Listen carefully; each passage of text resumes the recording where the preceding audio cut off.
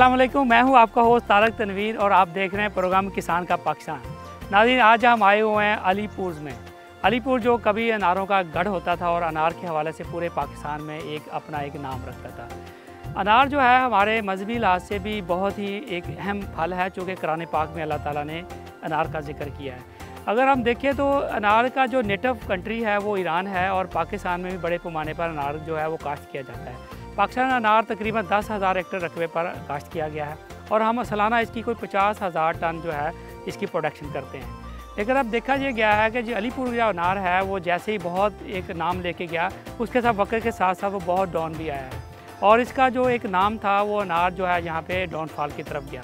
लेकिन अब जब जैसे जैसे पाकिस्तान में पढ़े लिखे लोग इसके अंदर आए और बहुत बड़े नाम इसके अंदर आए, अब जो फार्म की बेहतर मैनेजमेंट की वजह से अब अलीपुर का अनार जो है दोबारा अपनी उसी तरह जो है ना फ़ेमस भी हो रहा है और बेहतर जो है वो प्रोडक्शन भी दे रहा है। तो आज के प्रोग्राम में हम आपको लेके चलेंगे मुख्तलिफ़ बागों के अंदर और हम उनसे बात करेंगे कि अनार जो है वो पाकिस्तान में जो किस तरह, जिस तरह कभी बलोचिस्तान में अनार जो है वो काश्त किया जाता है। जैसे वहाँ का जो बेहतरीन एक समझा जाता है अनार जो है उसकी क्लाइमेट के हवाले से। तो पंजाब की क्लाइमेट में जो हमारा जनूबी पंजाब है, बहावलपुर है, अलीपुर, मुजफ्फरगढ़ है, चिश्तियाँ है, बहावलपुर तक किस तरह कामयाबी से अनार जो है काश्त किया जा सकता है, इस हवाले से हम डिफरेंट माहरीन से बात करेंगे और हम मुख्तर किसानों से बात करेंगे। इसकी प्रॉब्लम से बात करेंगे और किन फार्म प्रैक्टिस को लेके हमारा फार्मर जो है, आज जो है अनार की फ़ी पैदावार बेहतर कर रहा है और इसकी जो है अपनी इनकम भी बेहतर करता है। आइए उनसे बात करते हैं।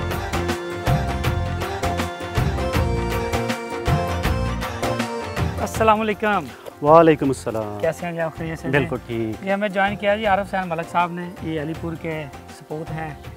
इसी के सान साइल हैं यहीं पे पले बड़े हैं। ये हमें बताएँगे कि अलीपुर का जो अनार था सबसे पहले बल्कि अलीपुर की हिस्ट्री के बारे में बताएँ कि अलीपुर क्यों है कैसे है और किसकी क्या हिस्ट्री है। ये अलीपुर शहर जो है ये तकरीबन साढ़े तीन सौ साल कबल अली ख़ान नहर ने आबाद किया था। तो उसके नाम से जो है उसकी मुनासबत से इसका नाम है अलीपुर। अठारह सौ बासठ तिरसठ में इसको तहसील का दर्जा मिला अलीपुर को। तो इसमें एक तारीखी कस्बा है सीतपुर वो पाँच हज़ार साल की तारीख रखता है। इसी तरह अलीपुर के कस्बे खैरपुर घलवा वो भी काफ़ी तारीखी कस्बे हैं। तो अलीपुर में अनार के बागात आम के बागात बगू गोशा ये बागात बहुत हैं। तो ये जो अनार की हिस्ट्री है इस पर मैं काफ़ी काम कर चुका हूँ मुख्तलिफ़ इस पर आर्टिकल्स भी लिखता रहता हूँ। ठीक। डिस्ट्रिक्ट गस्टियर ऑफ़ मुजफ्फरगढ़ 1929 के मुताबिक यहाँ अलीपुर में जो अनार के बागात हैं ये हिंदुओं ने लगाए थे ना? अच्छा। ये कौन से सन की बात है? ये 90s के आगाज़ में यहाँ पे बागात लगाए गए थे। तो यहाँ पे कुछ हिंदू थे जिनके नाम मुझे अभी तक याद हैं। इधर पास एक नाला है चंद्रभान नाला वो है मुखी चंद्रभान एक बहुत अच्छे बागबान थे। अ, उनके नाम से इसी तरह मुखी कंवर भान भगत मोल चंद वगैरह। ये बागबानी के शौकीन थे। शहर अलीपुर के आसपास सारे अनार के बगुवशा के बागात क़याम पाकिस्तान से पहले से जो लगाए गए थे वो अब तक भी मौजूद रहे हैं। फिर आबादी जो जो बढ़ती गई आसपास में फिर वो सोसाइटियाँ बनती गई। तो आबादी हो गई तो पुराने बागात तो ख़त्म हो चुके हैं। तो लेकिन अब खैर शहर से दूर दूर कुछ बागात बाकी हैं। एक ऐसा वक्त भी था कि अलीपुर को अलीपुर अनारों वाला कहते थे। अच्छा। इसके अनारों की वजह से है? ही। अच्छा ये अनार इतने स्पेशल हैं कि क़याम पाकिस्तान से कबल अंग्रे- अंग्रेज़ों के दौर हुकूमत में ये बरतानिया तक गिफ्ट के तौर पे भेजे जाते थे। ये मैंने एक लाइब्रेरी में बुक में पढ़ा था ना? एक आर्टिकल भी इस हवाले से पढ़ा था। तो ये जायका मुनफरद रखते हैं। एक तो जायका और इसकी बर्दाश्त का वक्त। जैसे आप देख रहे हैं कि अब शदीद गर्मी है जून जुलाई अगस्त में। ठीक है? तो अनार बहुत ही बेहतरीन ठंडी तासीर रखता है।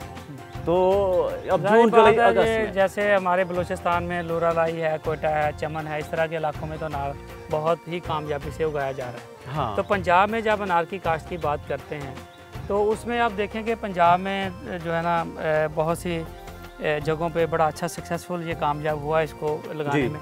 लेकिन अगर ये इतना कामयाब था तो अभी जो ये क्या ये क्लाइमेट चेंज आई है इसके ऊपर जिसने इसको प्रोडक्शन को कम किया है या इसकी और भी कोई वजूहत हो सकती है इसकी?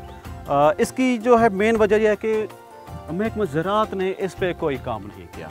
अच्छा। ठीक है इस पर जितनी भी बीमारियाँ आई इस पर व्यापारी हजरात हैं या मकामी ज़िम्मेदार हैं वो अपनी मदद आपके तहत कोई जुगाड़ वाले तरीक़ों से इनका हल निकाल लेते हैं। ठीक है बाकी कोई इस पर प्रॉपर रिसर्च जो नहीं हुई इस वजह से ये जो अलीपुर का अनार जो है इसको बहुत ज़्यादा नुकसान पहुँचा है। ठीक अब इसका जो पाकिस्तान में जैसे और अनार की अकसाम है ना जी। वो तुर्श जायके में मीठी हैं अच्छा। और वो ठंडे मौसम में तैयार होती हैं। हम्म। ये शदीद गर्मी में देखें तैयार हो जाता है। हम्म, ठीक है। अ, और इसकी तासीर ऐसी है कि डायरेक्ट ये मीठा है। जो जदीद इंफॉर्मेशन के मुताबिक फलदार जितने भी दरख्त होते हैं प्रूनिंग उनके लिए बहुत ज़रूरी होती है। ठीक है। जबकि ये मकामी किसान जो हैं ये पुराने तरीक़ों से जो बागात का काश करते आ रहे हैं ना ये प्रूनिंग नहीं करते। आप देखें ये लकड़ियों का गुच्छा बना हुआ है ना ऐसे ना ये देखें ये।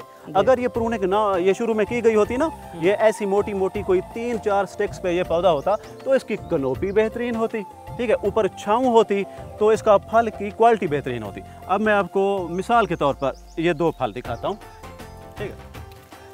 अब इस पे देखें सूरज की लाइट का असर है ना? हम्म, ये देखें इसकी स्किन जल गई है इसका रेट मुतासर हो गया हम्म। ठीक है? अब एक तरफ़ से ठीक है? एक तरफ़ दूसरी ठीक है जहाँ से- से। लाइट पड़ी ठीक है? वो स्किन जल गई अंदर से इसका रस भी मुतासर होगा। हम्म, दूसरे किसी पौधे को आपको दिखाता हूँ। नीचे जो छाँव में जो फल आ जाता है ना, जो छाँव में, शेड में, वो उसकी क्वालिटी बेहतरीन होती है और छाँव की वजह से वो बीमारियों से भी वो खुद ब खुद महफूज रहता है। लेकिन अल्लाह साहब देखें बात यह है कि ये हमारा बहुत बड़ा असर था। अगर ये प्री पार्टीशन पाकिस्तान में अलीपुर जो है, ये हब था अनारों का। अब अगर गवर्नमेंट इसके ऊपर तोज्जो नहीं दे पा रही तो क्या मुकामी तौर पे कोई ऐसा अदारा या ऐसी एन जी ओ को ऐसे लोग हैं जो इस चीज़ को लेके ये ज़ारी बात अलीपुर की पहचान थी अनार। अब पहचान ख़त्म क्यों हो रही है? तो इसकी ये जिस तरह आपने बताया इसकी बेहतर सी मैनेजमेंट थी कि आपने पौधा कैसे मैनेज करना है जी इसकी बीमारी को कैसे मैनेज करना जी है तो दो चीज़ों पे बात होनी थी। तो ये किस डिपार्टमेंट में का बात करनी थी अलीपुर के हवाले से इसकी जो पहचान को जो ख़त्म हो रही है? जी इस हवाले से मैंने कुछ आवाज़ उठाई आर्टिकल्स लिखे तो वो मीडिया से जो है ना मुख्तलिफ़ चैनल वाले दोस्तों ने अलीपुर से उसको हाईलाइट किया। तो फिर महकमा ज़रात में दो तीन बार इस पर सेमिनार हुआ। ये अनार के तहफ़ पे महकमा ज़रा के दफ्तर में ना। तो उनको कुछ लोग ड्यूटियाँ असाइन की गई कि आप फंगस फ्री पौधे तैयार करें एक कोई दस पंद्रह हज़ार पौधा। फिर वो किसानों में डिस्ट्रीब्यूट करेंगे ताकि सेहतमंद पौधे फिर काश्त होंगे ना तो बीमारियों से बचाव मुमकिन हो सके। लेकिन फिर वो फिर कागजों में ही पत्नी काम पहुँचे वो ठप हो गया काम प्रैक्टिकली उस पर कभी कोई अमल नहीं हुआ। अच्छा। तो अब बताइएगा कि यहाँ का जो अनार है क्या इसी जगह तक महदूद रहा या फिर बाकी पंजाब के एरियो में भी यहाँ से डिस्ट्रीब्यूट हुआ? ये अलीपुरी अनार यहाँ से सबसे पहले जो फैला वो अलाहाबाद तहसील लियाकतपुर का इलाका है। ठीक। तो वहाँ तक और उसके बाद फिर बहावल नगर हरुणाबाद काफ़ी सारे यूँ समझिए आसपास के जो दो तीन डिस्ट्रिक्ट तक जो है ना ये अलीपुर का अनार फैल चुका है। अच्छा इसकी एक ख़ास बात ये भी है कि अब अलाहाबाद में काश किया गया लियाकतपुर में वहाँ पे इसको कोई बीमारी नहीं थी। दस पंद्रह साल इसने बेहतरीन रिज़ल्ट दिए फिर वहाँ पे बीमारी आ गई। अच्छा। फिर उसके आगे रहीम यार खान तक इसका मतलब जो नई ज़मीनों पे जब लगता है तो इसकी परफॉर्मेंस बेहतर होती है। हाँ। तो जितना पुराना होता जाता है उतनी इसकी परफॉर्मेंस जो है ना वो कम वो मुतासर हो जाती है बिल्कुल। अच्छा ये बताऊँ जैसे ये वैरायटी है ना ये वैरायटी है चिटा कागज़ी। ये जो है अगस्त के फ़र्स्ट वीक से लेके ये सितंबर पूरा। इसके जायके के हवाले से और इसकी बर्दाश्त के वक्त के हवाले से आपको तीनों वरायटियों की तरतीब बताता हूँ। सबसे पहले तैयार होती है संदूरा वरायटी। ठीक। वो जून के लास्ट वीक से सारा जुलाई तक। तो संदूरा वरायटी की क्या प्रॉपर्टीज़ हैं उसकी? उसका स्किन का कलर जो है वो पिंक होता है। ऐसे आपको ये ना जैसे ये देखें ये पिंक कलर है ना? हम्म, संदूरा का। स्किन का कलर पिंक होता है। अगर इस फल को तोड़ें अंदर से दाना सफ़ेद होता है। और इसका जो है जैका लाइट स्वीट होता है।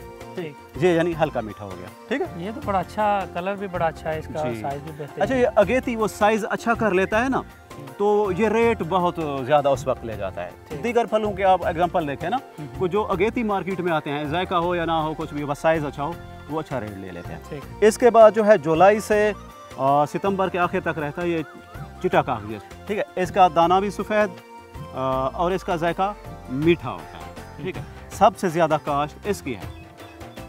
संदूरा की इससे कुछ कम है। ये अगस्त और सितंबर तक जो है मौजूद रहता है। हम्म, इसके अलावा एक तीसरी वैरायटी है काले हार वैरायटी वो आमतौर पर शौकिया लोग काश करते हैं। मतलब कमर्शियल वाटी नहीं है। हाँ अभी कमर्शियल मेरे ख्याल में पता नहीं उसको क्यों नहीं प्रमोट किया गया।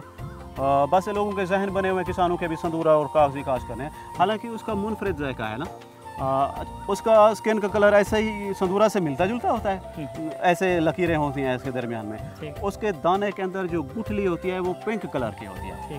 दाना ऊपर सफ़ेद होता है तो आधार से आ, वो दरमियान से वो नज़र आ रही होती है उसकी आ, पिंक जो गुठली होती है। अच्छा उसका जायका एक्स्ट्रा स्वीट यानी संदूरा लाइट स्वीट हो गया और चिट्टा कागज़ी नॉर्मल स्वीट वो एक्स्ट्रा स्वीट है और खाएँ तो मुँह में ऐसे जैसे वो शहद जैसी वो तासीर छोड़ता है। आप हमें ये बताइए कि पर एकड़ कितने प्लांट यहाँ पे आप लगाते हैं? रिवायती तरीक़ों से 200 प्लांट फ़ी एकड़ ये काश्त होते रहे पहले। लेकिन अब जिन लोगों ने दो सौ के बजाय 300 या 400 प्लांट फ़ी एकड़ काश्त किए हैं तो उनके तजर्बात बेहतरीन साबित हुए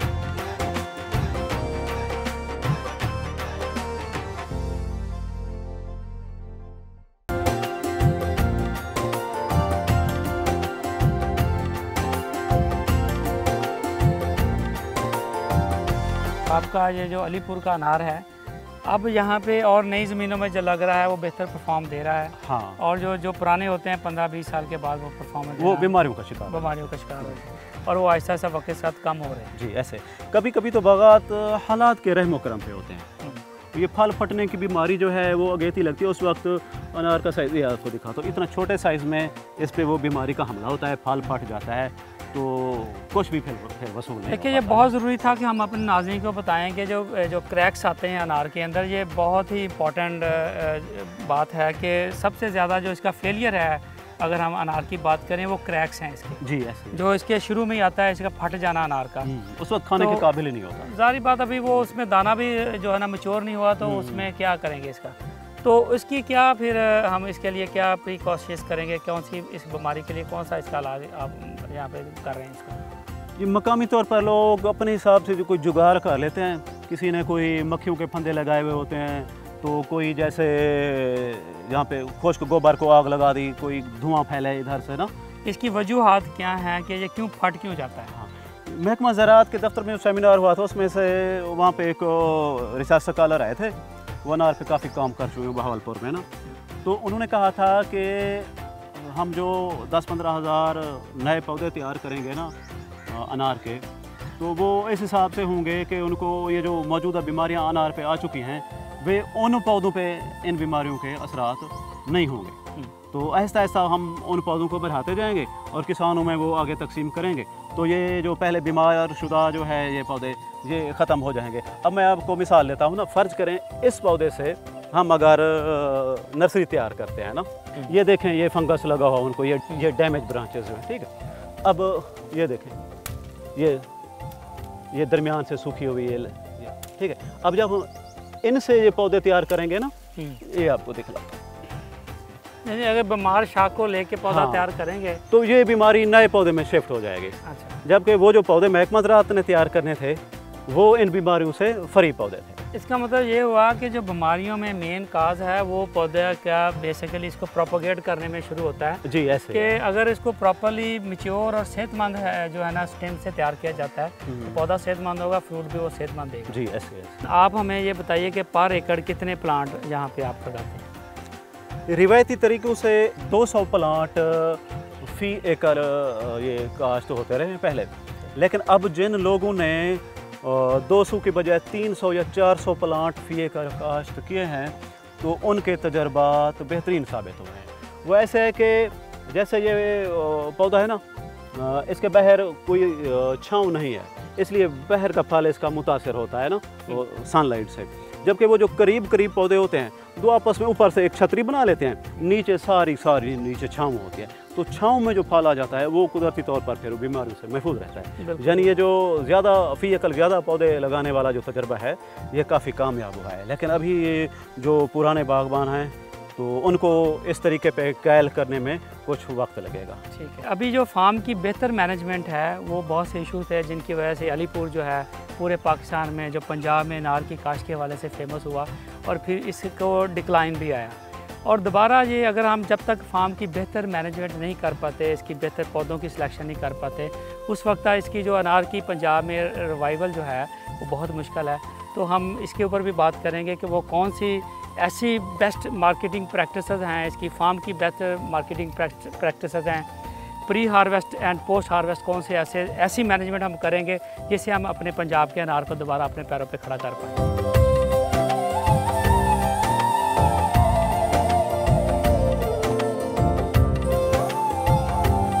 ये मेरे साथ मौजूद हैं कमांडर रिटायर्ड शमीम अख्तर साहब।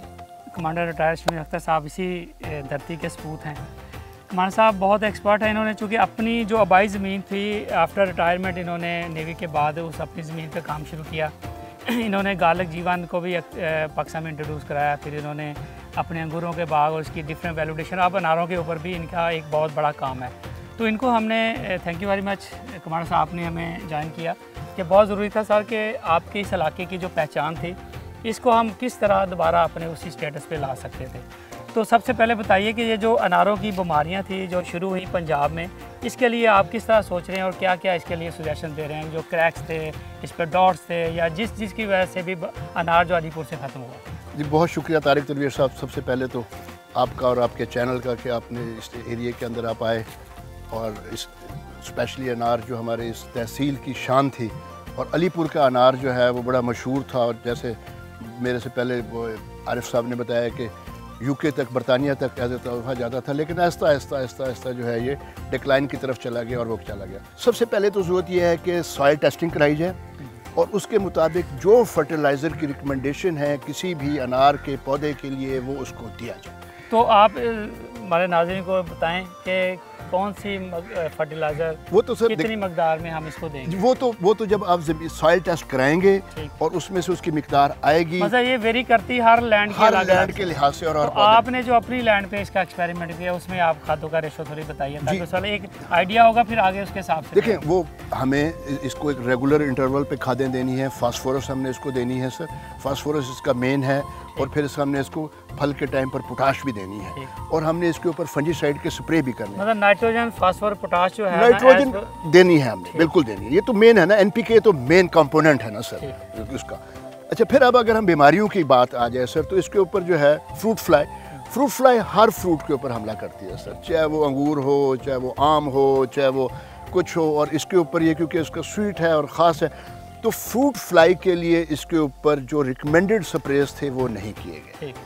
ज़रूरत इस बात की है कि इसके ऊपर रिसर्च की जाए इसके ऊपर देखा जाए उस फ्रूट फ्लाई को स्टडी किया जाए और फिर उसके मुताबिक जिस तरह बाकी फ़सलों के लिए जो क्रैश आवर क्रॉप्स हैं उनके लिए जो बनाई गई तो इसके ऊपर फ्रूट फ्लाई का वो किया जाए। नंबर वन फ्रूट फ्लाई की number one number one fertilizer की रिक्वायरमेंट ठीक है। नंबर टू फ्रूट फ्लाई और बाकी डिज़ीज़ का इलाज.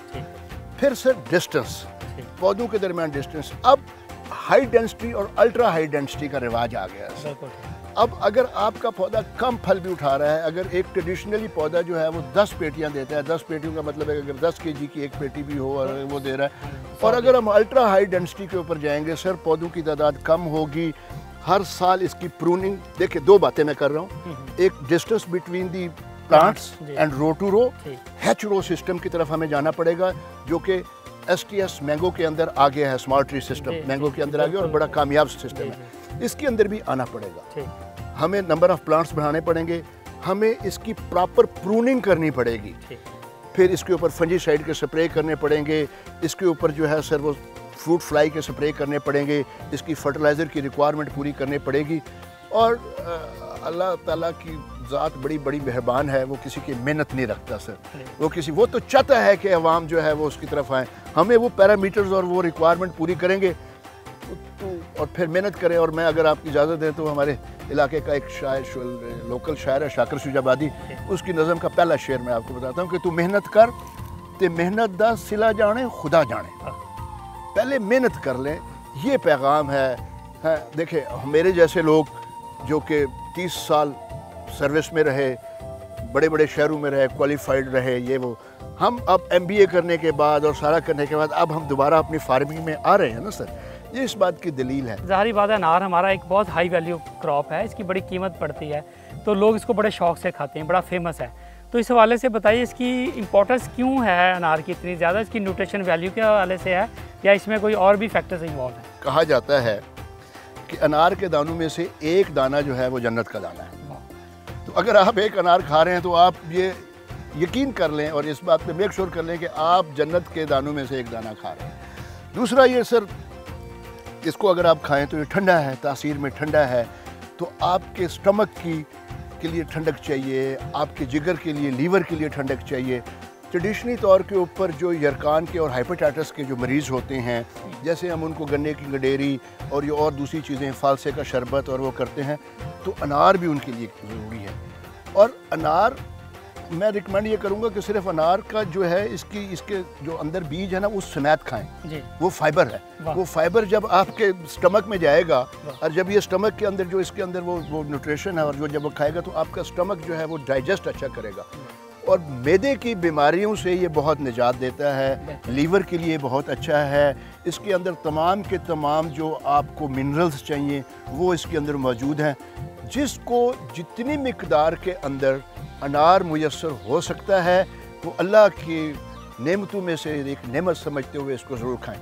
मैं आपके तारीख साहब एक बात शेयर करूँ, जो मैंने अपने बुज़ुर्गों से सुनी, कि वो अनार के नीचे इतनी सफ़ाई रखते थे और उसको किसी गलाजत से, बच्चे के और जानवरों की गलाजत से पाक रखते थे और साफ़ रखते थे उस जगह को, क्योंकि उनका ये यकीन था कि ये जन्नत के पौधों में से एक पौधा है और अनार जन्नत के पौधों में से एक पौधा है सर इस बात के लिए और मेरी बात याद रखें सर कि इस मुल्क की सर्वाइवल और इस मुल्क की जो प्रॉस्पेरिटी है वो ज़रात के अंदर पना और मैं बड़ा बड़ा बड़ा बड़ा बड़ा पुरुद हूँ हाँ। बड़ा पुरुद हूँ और स्पेशली जो ये अभी इनिशिएटिव लिया गया चीफ ऑफ़ आर्मी स्टाफ की तरफ़ से और इसके अंदर जो आर्मी इन्वॉल्व हुई और कॉर्पोरेट फ़ार्मिंग आ रही है, उसके अंदर नई मैनेजमेंट प्रैक्टिसेस आएँगी बेस्ट सीड्स आएँगे बेस्ट फ़ार्मिंग प्रैक्टिसेस आएँगी बेस्ट फर्टिलाइज़र आएँगी और इंशाल्लाह आप देखेंगे, अल्लाह ताला हमारी ज़िंदगियों के अंदर अगले दो चार साल के अंदर हम बड़ा क्लास पैरस हो बिल्कुल ठीक। देखिए जैसे कमांडर साहब ने अभी बताया है कि जो हम अपने फार्म की बेहतर मैनेजमेंट और इनके एपसेट फार्मर की बात की है कि हम बाग लगाते हैं और एपसेट फार्मर जो है ना, वो अपनी फ़सलों की उस तरह लुक आफ्टर नहीं कर पा रहा होता। इसलिए भी बहुत सी डाउनफॉल्स इसमें आई। लेकिन जो इनकी रिकमेंडेशन है, अगर इसको हम बाकायदा तौर पे इस पर काम करें तो इसमें कोई इसकी बड़ी वजह नहीं है कि हम अनार को दोबारा अपने पंजाब में, उस फार्मे को, उसी से भी इसको ला सकें। तो अभी हम आपको दिखाते हैं कि इसकी जो नर्सरी के हवाले से भी हम आपको बताएँगे कि इसका पौधा कैसे तैयार करना है। अनार के अंदर उस तरह एक प्रोमिनेंट लोगों का नाम नहीं है। तो आपने इसको हाथ डाला है? अनार इतना कोई टफ या मुश्किल बाग नहीं है, बड़ा आसान बाग है और बड़ा शार्ट स्पैन ऑफ़ टाइम का मतलब इस पर मार्च, अप्रैल पे फ्रूट लगता है और जुलाई, अगस्त में हार्वेस्ट भी हो जाता है।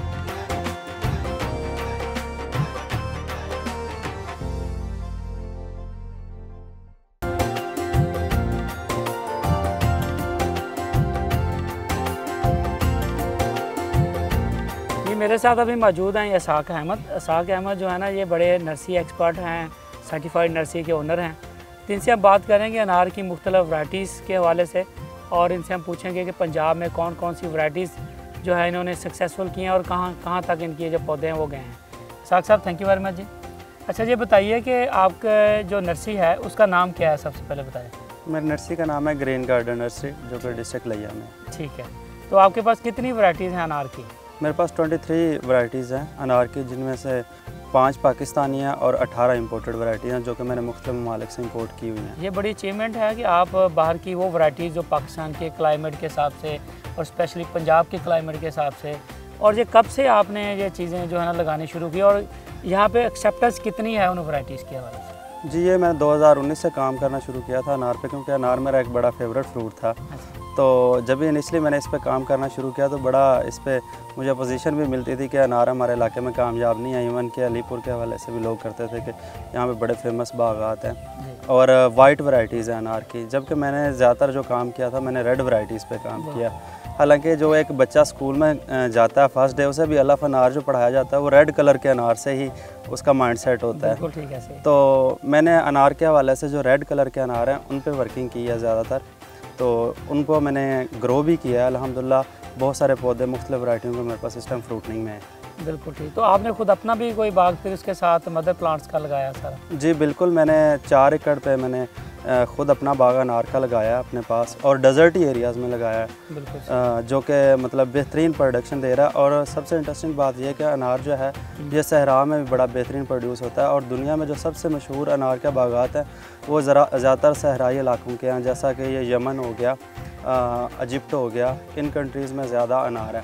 और यमन के सबसे पूरी दुनिया में जो मशहूर अनार है वो यमन के हैं टेस्ट के हवाले से जहरा के हवाले से और कम पानी पे बेहतरीन प्रोडक्शन देते हैं। तो आपकी कितनी एवरेज प्रोडक्शन आ रही है और पर एकड़ क्या कमा रहे हैं आप अपने अनार से? ये जो पर एकड़ अनार का है ये एवरेज पीक पे आ जाता है दूसरे से तीसरे साल में अनार पीक पे प्रोडक्शन पे देने लग जाता है।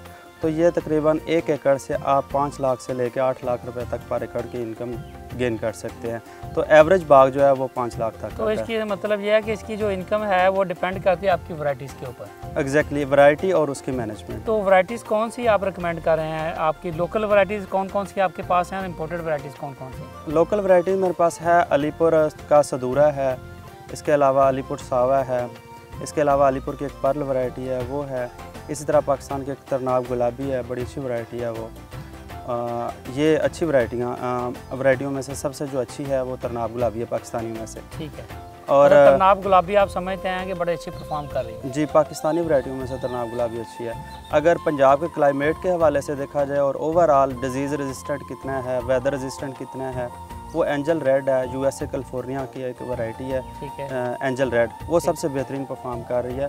वो वेदर रेजिस्टेंट भी है डिज़ीज़ रेजिस्टेंट भी है फ्रूटनिंग क्वालिटी कैपेबिलिटी उसकी सबसे अच्छी है। तो एंजल रेड की क्या प्रॉपर्टीज़ है? थोड़ा सा क्या निशानियाँ क्या होती हैं एंजल एक तो एंजल रेड ये है कि वो हमारे क्लाइमेट में भी ऊपर से भी रेड हो जाता है और अंदर से भी रेड हो जाता ठीक है। और छोटी हाइट पे उसका पौधा जो है ना वो प्रोडक्शन देना शुरू कर देता है आफ्टर वन ईयर ही। हम्म, हम्म। पाकिस्तान में सिर्फ़ दो बागात हैं जो एक साल के बाद कमर्शियल इनकम देने लगते हैं। एक उनमें से अनार और, और दूसरा पपीता है। पपीता एक बहुत सेंसिटिव किस्म का बाग है।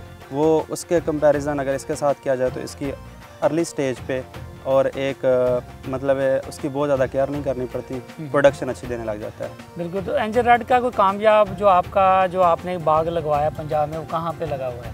इसके इस टाइम जो बड़े बागात हैं एंजल रेड के मेलसी में भी है एक बाग इसके अलावा चिश्तिया में भी एक बाग है। तो तो बड़ा बेहतरीन एंजल रेड की पर एकड़ क्या जो आपका क्लाइंट क्या अभी पैसे कमा रहा है? वो आठ लाख रुपए पर एकड़ से कमा रहे हैं। जी।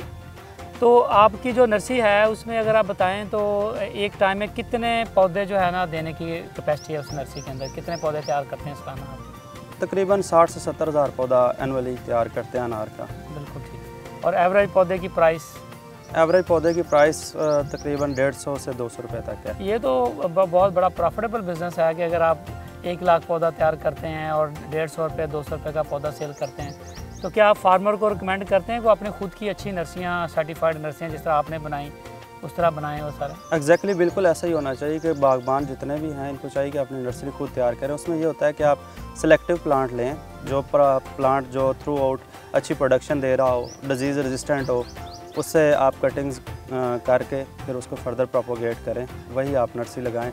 बजाय ये कि आप कमर्शियल नर्सरियों से लें मिक्स वैरायटीज़ के पौधे, उससे बेहतर है कि आप अपनी ज़ाती नर्सरी तैयार करें। तो एज ए नर्सरी मैन आप कौन कौन से सर्विसेज़ जो हैं वो हमारे किसानों को ऑफ़र करते हैं? प्लांट्स आप दे देते हैं, उसके बाद प्लांट्स देने के बाद भी आपकी उनके साथ रिलेशन होता है, आप उनको गाइड करते हैं। या किस तरह होता है आपकी ये जी बिल्कुल नर्सरी सेल करने का मकसद मैं एक फार्मर भी हूँ सिर्फ़ नर्सरी मैन नहीं हूँ एक बागवान हूँ खुद। मैं कोशिश करता हूँ कि after sale and service properly दूँ इवन के अनपेड होती हैं कोई उसके चार्जेस नहीं होते। सागर आपने बड़ी छोटी उम्र में ये बड़ी मच्योर जो है ना एक ऐसी क्रॉप के ऊपर हाथ डाला है अनार बड़ी हमारी इतनी क्योंकि पाकिस्तान में ये बड़ी बड़ी अभी माइनर क्रॉप में जो है इस पर इतना ज़्यादा काम नहीं मैंगो पे बात करें अगर सिट्रस पे बात करें डेट पे करें तो बहुत बड़े बड़े इसमें जो है ना लोग मौजूद हैं, जो बहुत बड़े बड़े नाम हैं इसमें। तो अनार के अंदर उस तरह एक प्रोमिनेंट लोगों का नाम नहीं है। तो आपने इसको हाथ डाला है? जी, अनार के हवाले से क्योंकि मैं, जैसा कि आपको बताया कि मेरा फेवरेट फ्रूट था अनार। तो अनार को इसलिए मैंने काम करना शुरू किया और अनार में जिस चीज़ में भी आपको शौक़ होता है तो फिर अल्लाह ताला की ज़ात उसमें आपको कामयाबी भी अदा करती है।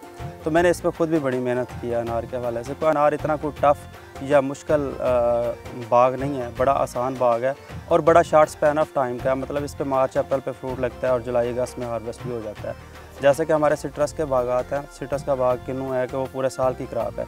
जबकि अगर हम अनार की तरफ़ देखें तो अनार हमारा just three two four month की क्रॉप है। तो आप कितने पौधे रिकमेंड करते हैं अपने क्लाइंट को अनार के पर एकड़? ये मैं करता हूँ साढ़े चार सौ पौधा पर प्लांट पर मतलब आप साढ़े चार सौ पौधा लगवा रहे हैं? जी सर। इसमें कोई वरायटी अलग अलग है या सब वरायटी की आलमोस्ट एक ही तरह की पौधों की नहीं पाकिस्तान में जितनी भी वरायटीज़ हैं उनका मैं रिकमेंड करता हूँ कि दो सौ दो सौ प्लांट पर एकड़। अगर आप इंपोर्टेड वैरायटी जैसा कि एंजल रेड है उसकी कैपेबिलिटी है कि छोटी हाइट में ज़्यादा प्रोडक्शन तो उसके प्लांट्स फिर ज़्यादा लगाए जाते हैं और छोटी हाइट मेंटेन की जाती है। उसमें फ्रूटनिंग क्वालिटी भी अच्छी आती है और फ्रूटनिंग क्वांटिटी भी अच्छी आती है। तो इस वजह से उसका पौधों का साइज़ भी बाय नेचर छोटा है तो इस वजह से उसके प्लांट ज़्यादा रिकमेंड किए जाते हैं। बिल्कुल सही। नासिर देखिए साक अहमद जैसे जो बच्चे हैं हमारे ये बड़ा सरमाया इन्होंने देखिए बड़ी इन्होंने ना सिर्फ़ पाकिस्तान की जो वैराइटीज़ थी उनको डॉक्यूमेंट किया सर्टिफाइड नर्सिस बनाई। बल्कि इसके साथ साथ उन्होंने अठारह वैराइटी जो इंटरनेशनली हमारे क्लाइमेट जोन के हिसाब से जो परफॉर्म करने वाली वैराइटीज़ थी, वो पाकिस्तान में इंट्रोड्यूस कराई। रेड एंजल की जो बात करते हैं, जिस तरह इन्होंने कहा कि ये बहुत अच्छी पैदावार देने वाला, कम जो है ना लो हाइट पे भी पैदावार देने वाला पौधा है, इन्होंने पाकिस्तान में मुतारफ़ कराया। और आज इनके जो लगाए गए पौधे जो हैं, इनके लगाए गए जो बाग हैं, वो बहुत अच्छा जो है ना फार्मर को मुनाफा दे रहे हैं। तो मेरा ख्याल है कि ऐसे बच्चों को हौसला अफजाई करनी चाहिए इनको आगे आना चाहिए।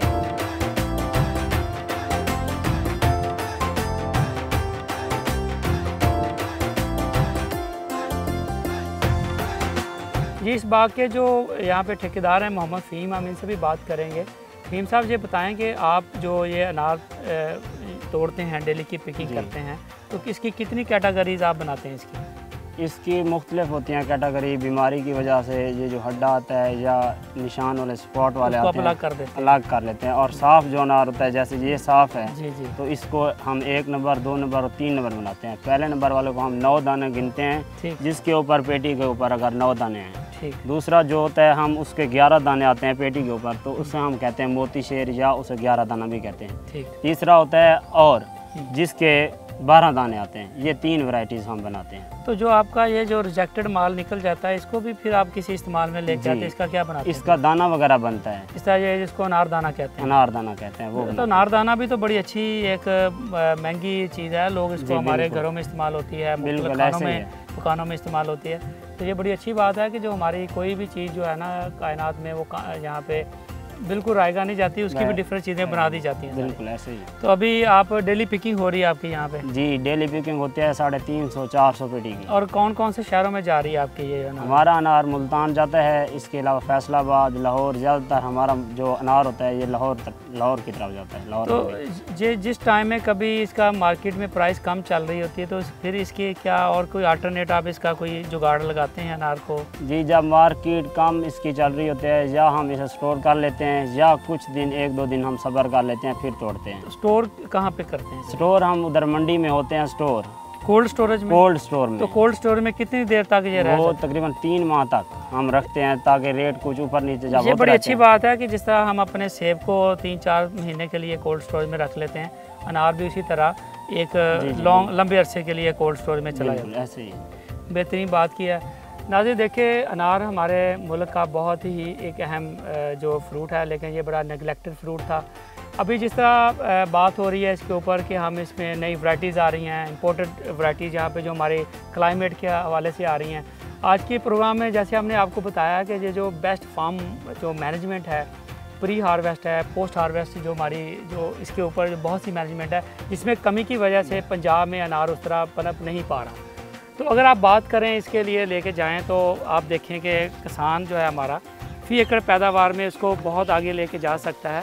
अगर वो इसकी फार्म मैनेजमेंट को बेहतर कर ले और इसकी जो बीमारियाँ हैं, वो कोई बहुत बड़ी बेसिक जैसे अब हमारे प्रोग्राम में हमने बड़ी मुफीद मालूम इसके ऊपर भी हमारे दोस्तों ने आपको दी हैं कि किस तरह बीमारियों के ऊपर हम कामयाबी के साथ काबू पा सकते हैं। तो उम्मीद है कि आज के प्रोग्राम में हमने आपको जो मालूम दी हैं, वो आपके लिए बहुत ही मुफीद साबित होंगी। मिलते हैं आपसे अगले प्रोग्राम में नई मालूम के साथ। तब तक के लिए मुझे और मेरी टीम को दीजिए इजाज़त और आप देख रहिए किसान का पाकिस्तान, सिर्फ़ डिस्कवर पाकिस्तान।